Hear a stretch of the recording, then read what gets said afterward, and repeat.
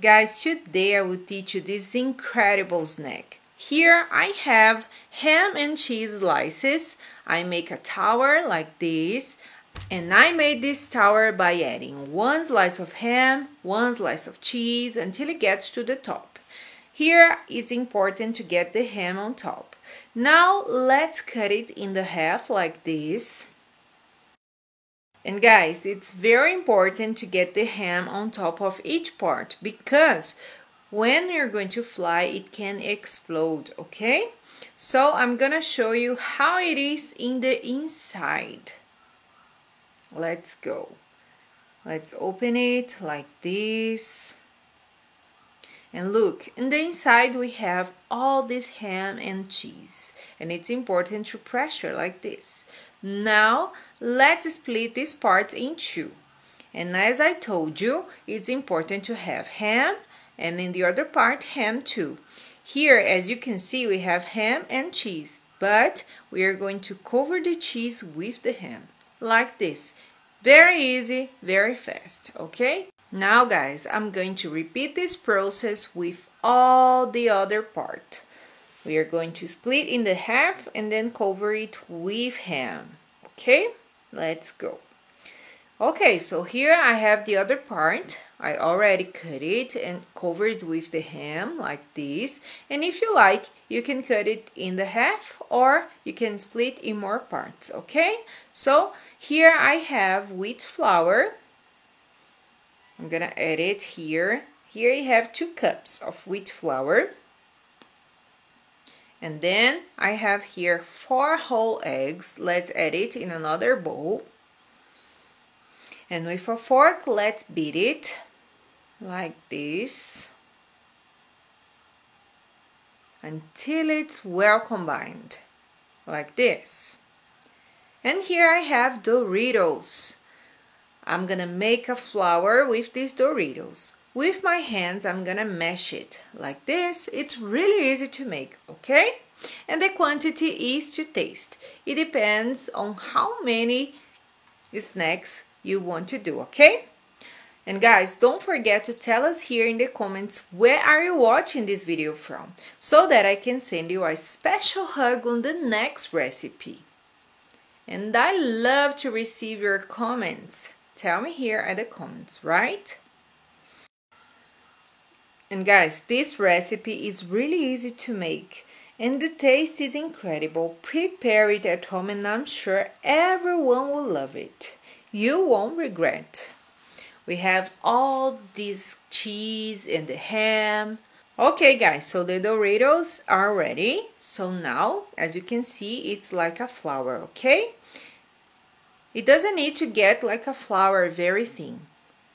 This is okay for me. So now let's pass our snack in the flour. Let's cover everything like this. And then let's pass it through the eggs like this. And while I do that, I want to send a special hug to Tully Smith from South Africa. Thank you, my dear, for watching our videos and for following our recipes. It's a pleasure having you here with us. Now, guys, I'm gonna repeat the process. I'm gonna add it in the flour. Let's cover everything. And then I'm gonna pass again in the eggs. This is gonna help the cheese not to explode, okay? This is really important. Now let's add it in the egg like this. And now in the Doritos like this. Let's cover everything. And while I do that, why don't you tell me here at the comments, what did you think about this recipe? You can rate from 1 to 10 I'd love to know your opinion. It's really important for me. And look here, guys, I covered everything with the Doritos, like this. And now we just have to fry it. It's gonna be just like this. Here, I have hot oil, okay? I'm gonna add it in the oil, but you need to pay attention because if the oil is very hot, the cheese won't melt. So here it's not that hot, okay? It's important to have bubbles like this.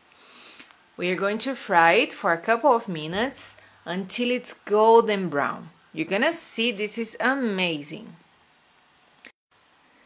You can turn it to fry all the sides equally. It's important to have a golden brown color. You're gonna see this recipe is amazing. I like to do this every week. In my house, it's a huge success. My kids love it. Let's fry it for a couple of minutes and then we are going to take it off and put it in paper towel so that we can take off the oil excess. And it's ready when it's just like this, golden brown, right? And that's it guys, our snack is ready. It's very crunchy and delicious. Prepare it at home and I'm sure you won't regret. Everyone will love and will be surprised on how this recipe is made. Thank you guys for watching our videos and for following our recipes. It's a pleasure having you all here with us. Hope you enjoyed this recipe and now I'm gonna try this amazing dish. I see you in the next recipe. But first, let me show you the cheese on the inside. It's really delicious, isn't it? Hope you like this recipe and see you next time. Bye bye!